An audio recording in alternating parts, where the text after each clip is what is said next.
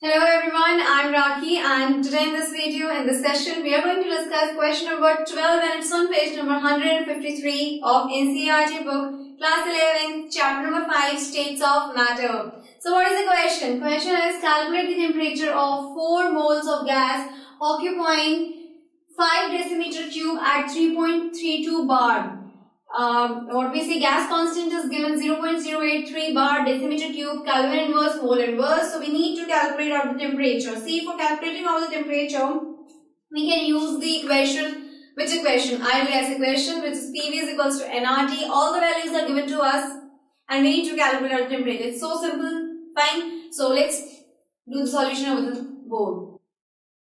Fine. So what is given to us is N which is number of moles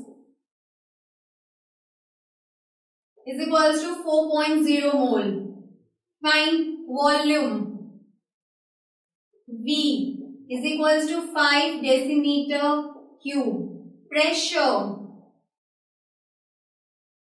P it is given 3.3